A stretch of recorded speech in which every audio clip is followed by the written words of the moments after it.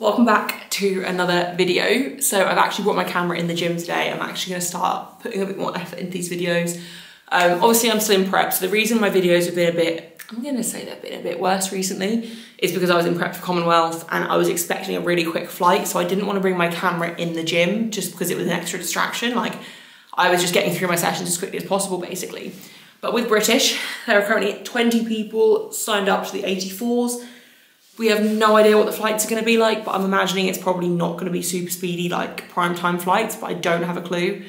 So at least for now, I'm going to bring my camera in and I'm still going to train it like fairly quickly just because that's how I like to train, but I'm going to allow myself a bit of time between lifts, like between squats and bench, and then between bench and deadlifts, depending on what day it is, um, to actually sit and recap and give my thoughts on things. Um, so yeah, welcome back to another video, episode two of my British prep. I think I am going to stick to one a week for now We'll see what happens. I'm not going to commit to anything. Um, but yeah, I'm just going to try and keep uploading as regularly as possible so you guys can see what's happening with my prep into British. But I am excited.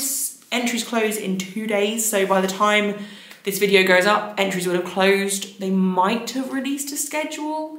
It's probably going to, unless, that, I mean, hopefully they've already started working on it based on current numbers, but we'll see. Um, would like to get a schedule as quickly as possible so I can plan exactly what I'm doing, but doesn't matter either way currently ranked third. We'll just see what happens. Anyway, I'm gonna stop talking and I'm gonna get ready to squat.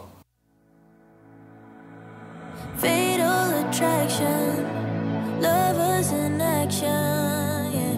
One of us, one of us is gonna get hurt. You got your madness and I'm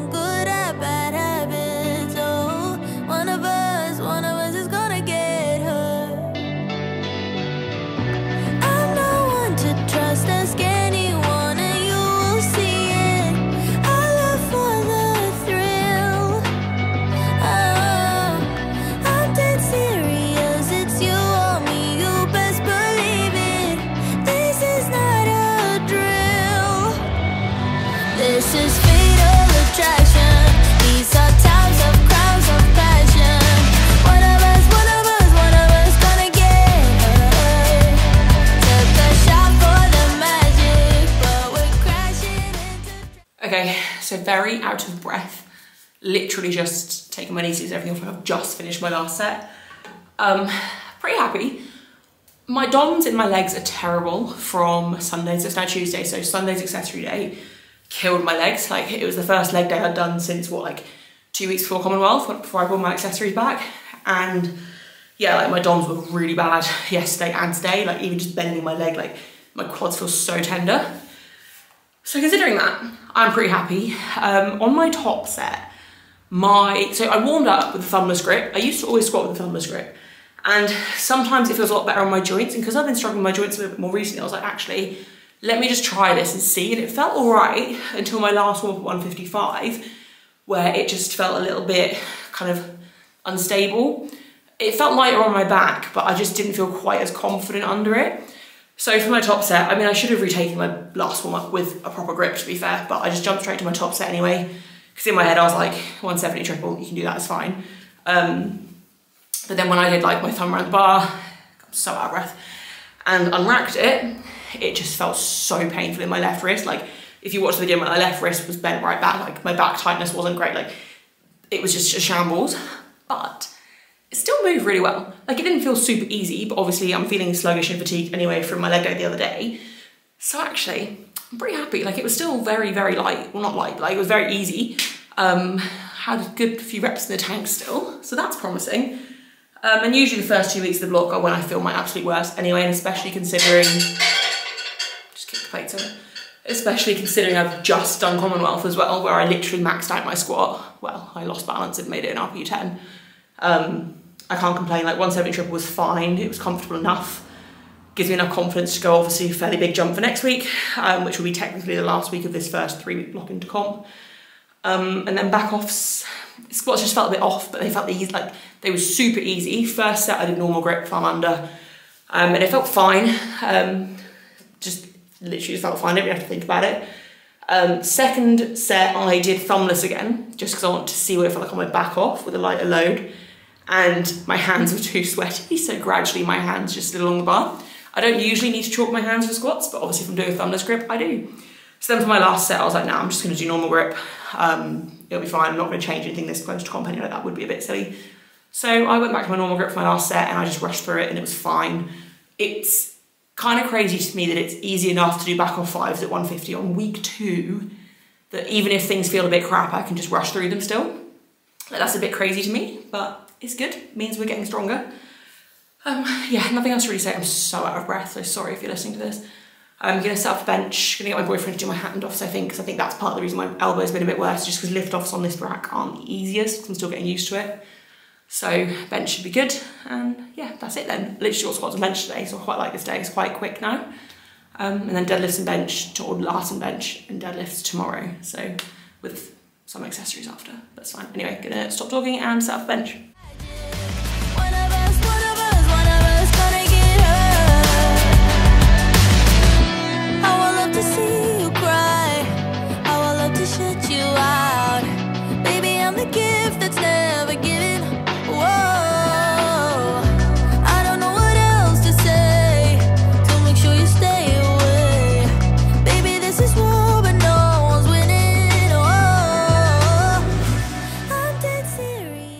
So just finished day one. Bench went really well. So I've got to confess, the plan was to do three singles at 105. Technically they were supposed to be slightly longer pause singles, but I'm gonna be honest, I completely forgot that until they were done. Um, but I did 107.5 because I was like, well actually, I felt really strong warming up. So I was, as I read my plan, I was like, look, I'll put 105, but actually if warm-ups feel really good, I think I'm gonna go to 107.5 because I know I've got the strength for that and to kind of have room in the tank still. And next week I think it'd be really cool to do 110 to 112 for my singles. And I'm also not too worried about the long pauses at this point because I'm quite confident with pausing reps now. Um, and obviously, well, I say obviously, in the weeks leading into British, I'm hoping if my boyfriend's about, he can give me press commands and stuff anyway so I can stay used to them. But at Commonwealth, I have to admit, the pauses felt really, really short. And I mean, at British, they shouldn't be any stricter than they were at Commonwealth. So, and when I say they felt short, they weren't actually short. My camera's going out of focus. They weren't actually short pauses. It's just under the bar they felt short, which is a really good thing because I've been obviously practicing my long pauses and stuff. So basically, really happy with how 107.5 moved, especially because I didn't feel as strong as I sometimes do. Like 100 is my last warm up. Didn't feel as speedy as 100 sometimes does. So to know that I can do three long or three singles, not long pause at all. The second one barely even had a pause. Um, but to know I can do three singles, solid singles at 107.5 when bench isn't feeling its strongest is a massive win. Um, and then back offs, I haven't actually watched them back yet, um, but triples at 100 were felt really comfortable. And I actually, this is why I'm still so out of breath. I have like no rest. So my boyfriend was giving me lift offs and I know he wanted to get indoors and like he didn't want to be out here. So I kind of just rushed through them and I probably had like 60 seconds between each. So actually three, no, four sets of three at 100 with like 60 seconds rest after three singles at 107.5 on not my strongest day. I can't complain at that. So I'm very happy. I can't believe how out of breath I am. I'm so sorry to everyone watching this. Um, but yeah, really happy. Yeah, nothing else to really say. I'm gonna just wrap up, clean the gym up. Um, I'm gonna probably go for a walk tonight. I'm trying to get my steps up. Um, so probably gonna go for a walk tonight. Um, and that's kind of the plan. Need to have dinner in a sec as well. But yeah, I'm happy.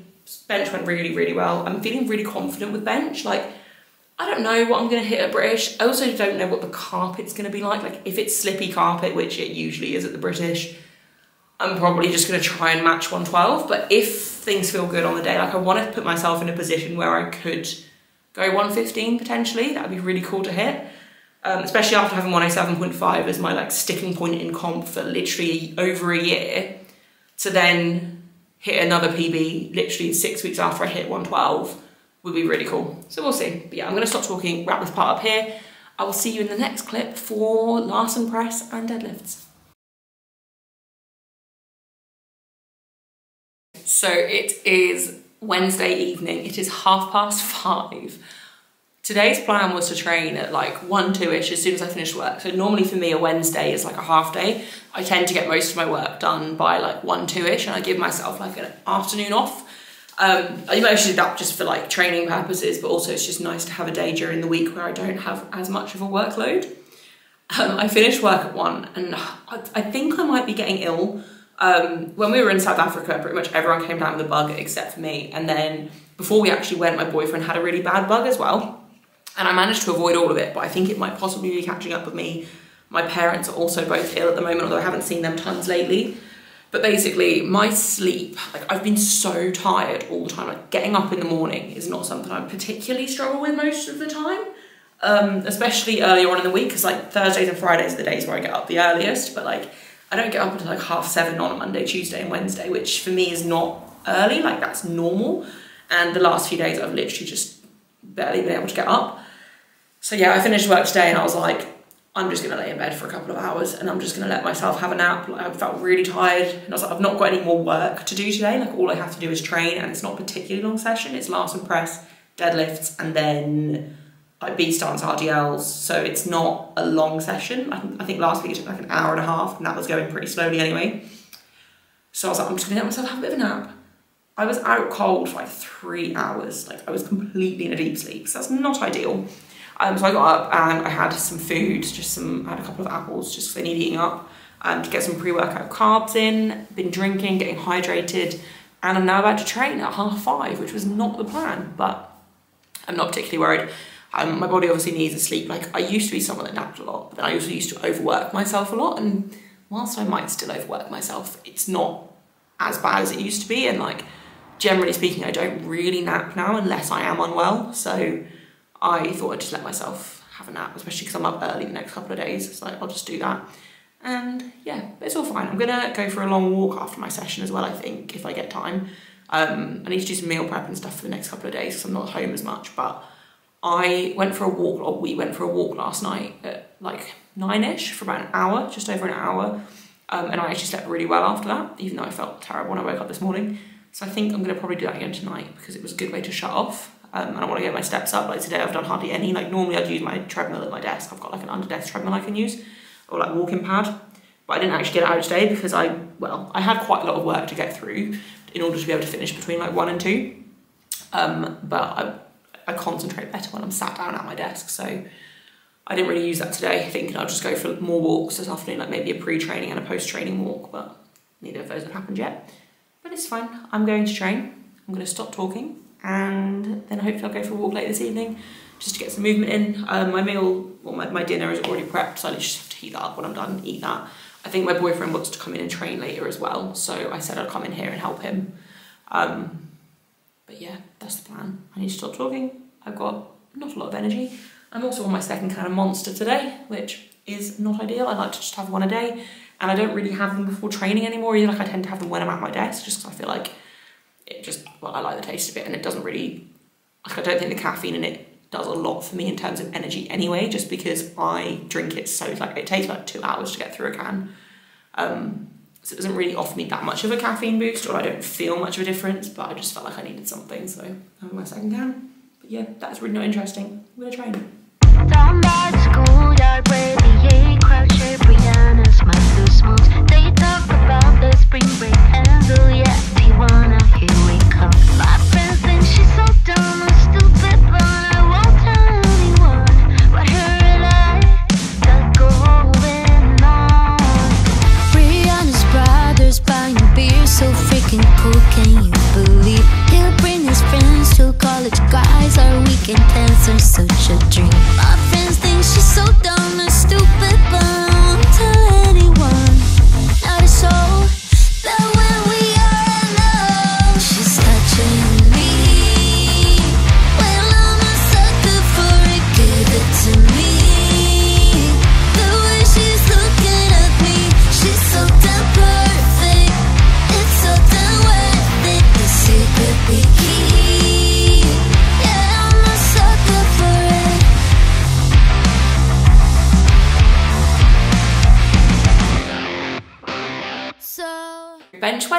much better than last week. Um, last week's Larsen press was ropey to say the least, um, but actually this week it felt really light. Um, I went a little bit heavier this week, so I added two and a half to everything.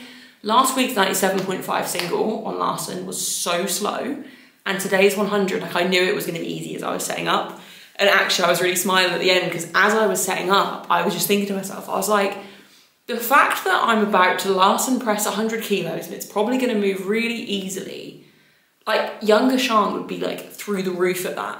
Um, and it just made me quite happy to just think about how far obviously my lifts have come. don't get me wrong, 100 kilos for me now is not heavy, like I should be able to Larsen press it. Um, but I'm just very happy and I feel like perspective is important. Remember obviously how strong you've got, like 100 kilos is still a massive bench, like even though it's become quite a common bench press, like it's still a huge milestone and not everyone will get there. Like, don't get me wrong, I believe pretty much everyone can get there, obviously weight class dependent. Um, but yeah, I just think perspective is important and I was just really happy thinking about how like ecstatic I would be to think back like a few years ago I found my video of where I first ever hit, hit 100 kilos and it was like the 7th of May 2021.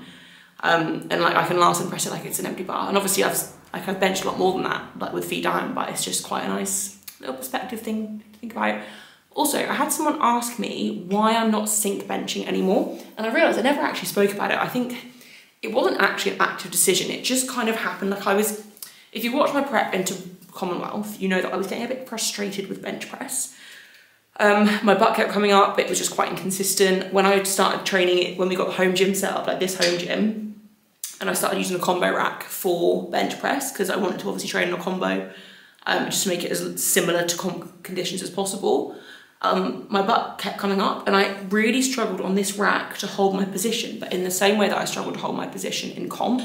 Um, and it's usually due to feeling a bit slippier on the bench or feeling a little bit like my feet are slipping and stuff. So I basically want to find a way around that. And which is why when I trained here, I made sure to train in my singlet all the time rather than benching in my sports bra. And it's why I'm still just training in baggy tops. I will go back to my singlet in the next couple of weeks as well. Um, and why I bring our doormat in for my feet down bench because it's slightly slippery. So it mimics comp conditions a little bit better. Um, but basically, I didn't actively choose to stop thinking. I was getting so frustrated with holding my positioning that I kind of just stopped thinking as much and I let my instincts take over a little bit. The only thing I started focusing on was keeping my neck pressed firmly into the pad like the entire time and keeping that tension and that pressure and bringing my chest to meet the bar. They were the only two things I started thinking about. And with that, my positioning, like I started flaring a little bit more, which I am being cautious with because I already feel like my shoulders aren't loving it. I've said this before, Tucked benching is the best for me, but when it comes to comp and holding position, if you tuck, naturally your body just kind of flattens a bit more under the bar. Um, so flaring is going to be stronger for me, but I just have to keep my shoulders happy, which is a common issue with flaring and since the elbow depth rule especially, like shoulder injuries on bench have been very common. Um, so I need to basically just keep an eye on shoulder health and stuff, but it's fine. I'm gonna, like, I don't feel like I'm going to get injured. It's not a problem. I've had shoulder issues in the past that I'm very good at managing and they never really come back anymore. So it's just a case of keeping an eye on it and being very kind of honest with myself about how my shoulders are feeling. Um, but yeah, essentially, I just was like, there was this one session I can remember. I I think I said it on here. I um, everything was feeling terrible, and I watched Agata Sitko's bench. Like she'd just posted her training from the day, and she did a double at like 156. And I watched it, and I was like, Sian, you're actually being pathetic. Like, stop having a hissy fit. I think I was benching like 95, 100 kilos at the time. I was like, stop having a hissy fit. Like, this is the easiest weight for you even if you have bad positioning, you can still move this. Just, just stop overthinking it and just bench. And then like basically I told myself to grow up and it started moving really well. Um, and I just kind of started making mental notes of what felt good, which is when I started flaring slightly more. And it helped with my positioning, obviously, like common sense wise. If you're tucking, your whole body is going to sink more, like because more of your like upper back and shoulders and stuff are going to be kind of on the bench to sink. And obviously, I don't know how to explain this, but like if you watch from the side, you'll see you do tend to lose positioning slightly more if you have more of a tucked position versus a flared. Like with flaring, the pressure, the bar, obviously like gravity and everything, like the bar pushing down on you isn't going to mess with your positioning as much.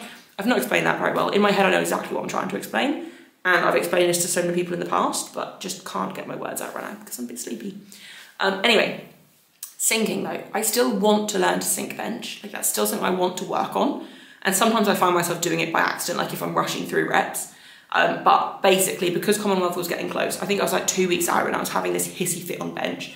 And it was just, it wasn't a consistent movement for me yet. I hadn't nailed the skill at all. It was very hit and miss from week to week. I just decided to continue with what felt best and stop overthinking it.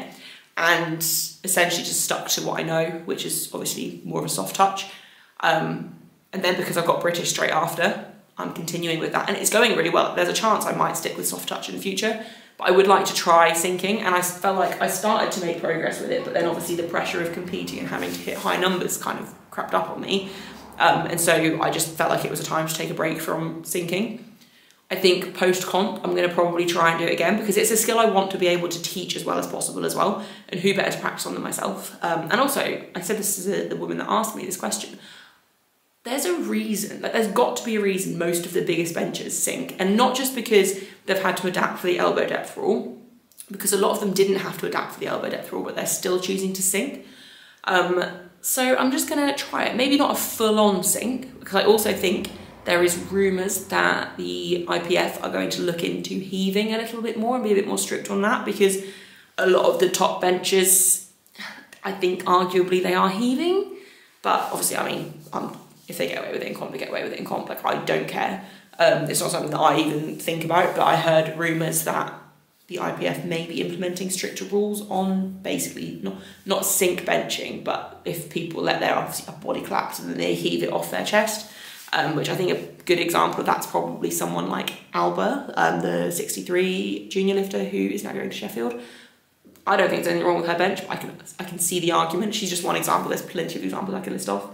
Um, so yeah, I don't want to get into that habit, and then they bring this rule in as well. So that'll be interesting to see what happens. I think it's normally like the start of the year they announce any rule changes. Um, but yeah, so I still think sinking is something I want to work on, but purely just because of running out of time, wanting to obviously place as high as possible at these comps, it just seemed silly to continue working on sinking when I was just struggling with the basics of benching at the time and I was just getting in my head so much. So that is why I stopped sinking. Um, also, I had a question about why I'm doing Larsen press on this day. So in my block into Commonwealth, I did ascending sets before I did my long pause singles and uh, my triples back off, which was my Tuesday session, my session you've just seen. Um, so I took my ascending sets off of that day because it was just extra kind of junk volume, if if anything.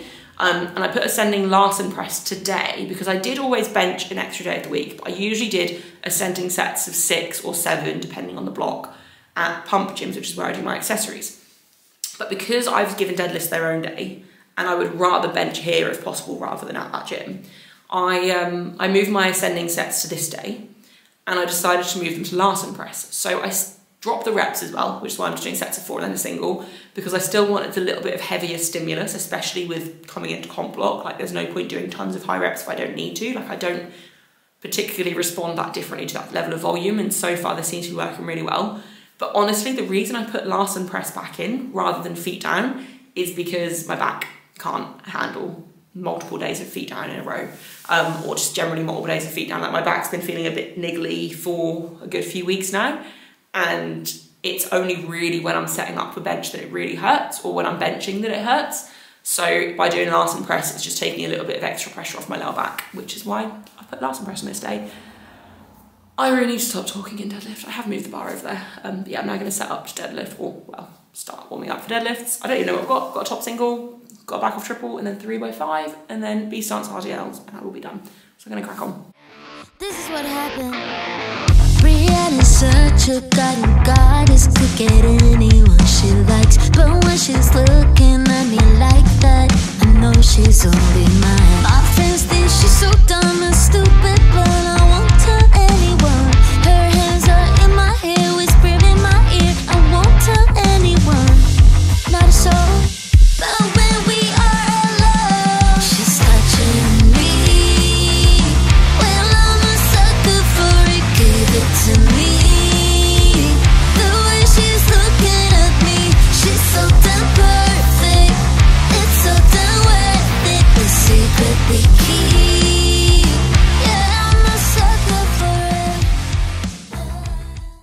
It. I am ridiculously out of breath. I've literally just put down the bar and finished my last set of deadlifts. I've got B stance RDLs left to go, but I won't film anymore for tonight. Um, but I just want to quickly talk about deadlifts. I'm feeling so happy. I have struggled with deadlifts for a while. At Commonwealth, they were terrible. Like the, the block being in Commonwealth, they just not felt great for a while. Um, and I think part of that is like men. Well, all of it's mental. It's not a strength issue; it's a mental thing. And I kind of just told myself today, like even this morning when I was thinking about my session, I was like, you need to just get over yourself and just enjoy it. Like be grateful. Like there was a time I couldn't deadlift because of my back, and it wasn't that long ago. Like I need to just be able to enjoy the fact that I'm healthy and I'm able to just approach the bar with confidence, knowing that I'm not going to get hurt, and deadlift went so well done. Like I just put on songs that I enjoyed, kind of just put it up a bit louder than normal, just kind of got into the mood, had fun, and just got myself in like a cheerful, upbeat mood, and they went so well My top single was like a little bit slow, but it was definitely easier than my 165 was last week. That's a 10 kilo jump. Um, I then did a triple at 160, which was easier than my 150 triple last week. I then did back off fives at 145, which obviously that's not heavy, like in in like comparison to my top end, but I didn't even like re-brace for every single rep. Like I was confident enough to just go, go, go, go, go. And that is a huge thing, like especially the last two sets. I didn't film the second set, but I filmed the last set because I wanted to just kind of watch it back as a reminder, like you're healthy enough to just go for it.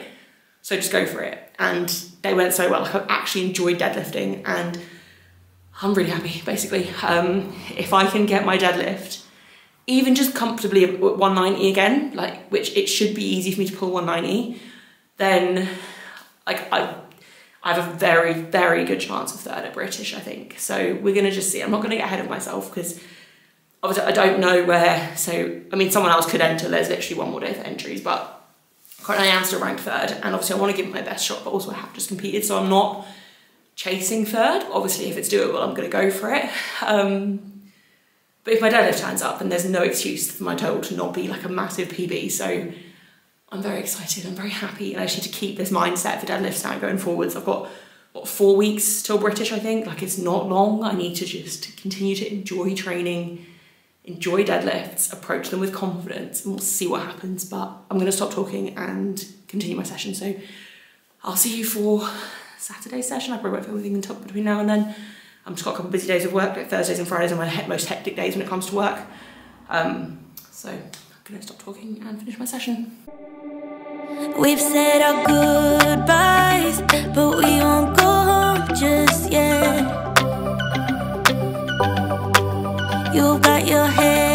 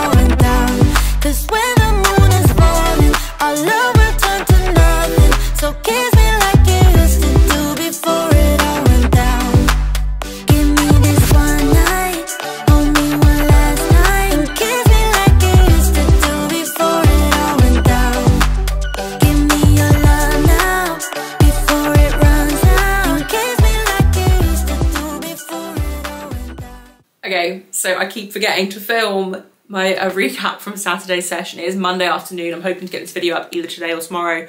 Um, on Saturday morning, I trained. You've seen my session. It went really, really well. Um, I literally got up just after nine and I was lifting in, in my gym by 10. So I wasn't even up for an hour before I was in the gym and training, which is why I completely forgot to take my camera. Basically, I just had plans and stuff in the afternoon, so I wanted to just get up and get done pretty quickly um, which I did, and I got actually, I'm really enjoying training first thing on a Saturday. Um, I'm gonna probably try and keep doing that for the most part until comp. Um, I'm not lifting until like 2 p.m. on comp though, so actually I might, I don't know, we'll see. I'm just enjoying getting things done. I'm also looking forward to comp being done because I miss not training at the weekends and having an accessory day on a Sunday is just not fun. I love the gym, But yesterday, I so on a Sunday I do a lot of programming um, and a lot of like communicating with clients and stuff, just because it's a day that we're kind of we're all free. So a lot of messaging back and forth and stuff happens on a Sunday. And normally though, I'm at my desk for like four five hours maximum. And the only other thing I tend to do most Sundays is a food shop. Yesterday, I was up in good time. I like fine, whatever. Finished work in good time. Did the food shop in good time. I still didn't get to the gym to do my accessory day, which takes me less than an hour.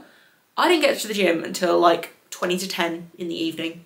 There was no reason why I couldn't have gone earlier. I had so much time available to me, but I just couldn't make myself because I just really hate training on a Sunday. So this is not what I was actually and talk about, but I am quite looking forward to comp being done. Although I do think I'm going to probably take that accessory day out because I'm currently training five days a week. And I think for the last two, three weeks into British, which will be basically the final three week block because I'm doing three week blocks.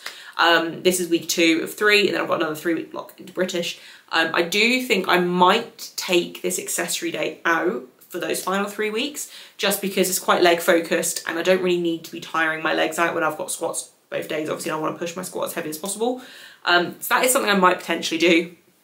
Um, but yeah, that was a little rant about the fact that I don't like training both days at the weekend. But I am enjoying training first thing on a, sun on a Saturday. The only thing is obviously I forgot to take my camera. I can't even really remember massively what I did. I just remember everything felt pretty good. I remember on my bench top single, I had major intrusive thoughts as I was unracking. So my boyfriend has been going out and spotting me quite a lot for my bench and giving me lift offs because if I don't get an unrack, I do find that when I unrack myself, my elbows do get a little bit worse and that rack, I'm still getting used to it. So just for ease and just for like keeping my elbows a bit happier and just making the reps feel a bit easier, he has been giving me a lift off a lot of the time when I train, but obviously I'm not going to drag him, well, I mean, he was up, but I'm not going to make him come and sit with me on a Saturday morning when he's got other stuff to do.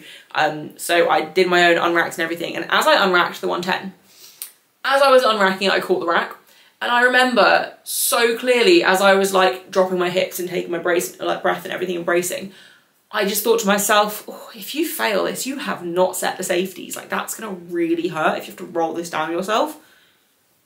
That's not what I want to be thinking when I'm literally about to bench 110 with no spotter, no safeties. Like I know I can do it. I would have set the safeties if I didn't think I could do it. But it was just in that one split second I had that thought and then obviously I messed the rep up, barely paused it and I was nervous as hell to do it. Um, but it still moved really quickly and bench is definitely feeling the strongest it has. Like I'm feeling really confident with bench. Squats don't feel fantastic at the moment, but as a trade-off, deadlifts have been feeling a little bit better.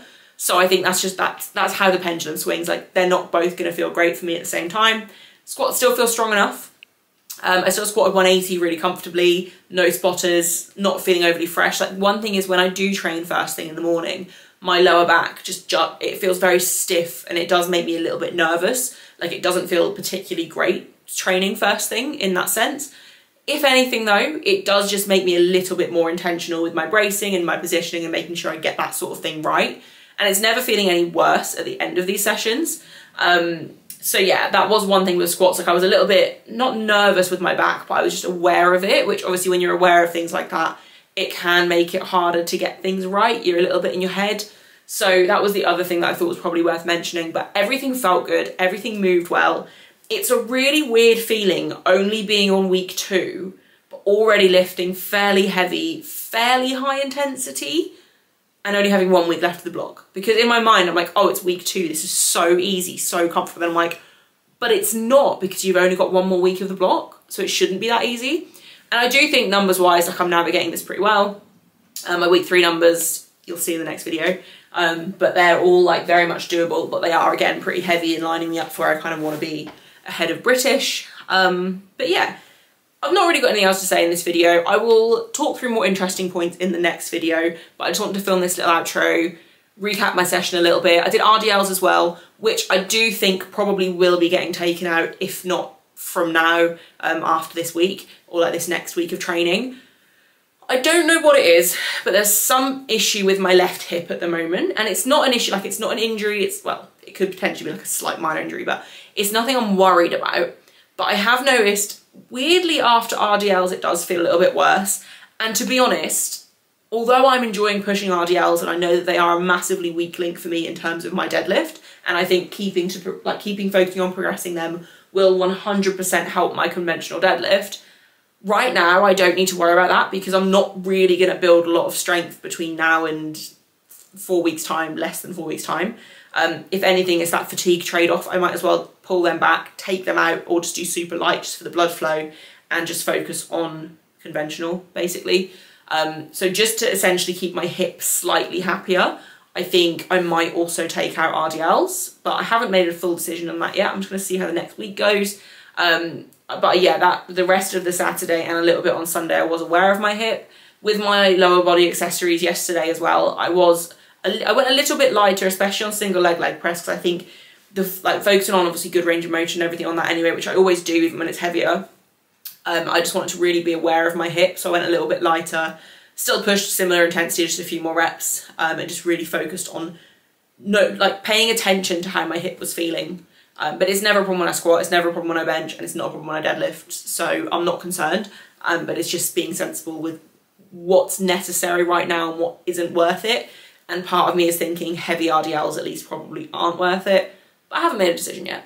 I'm just gonna keep seeing how things feel.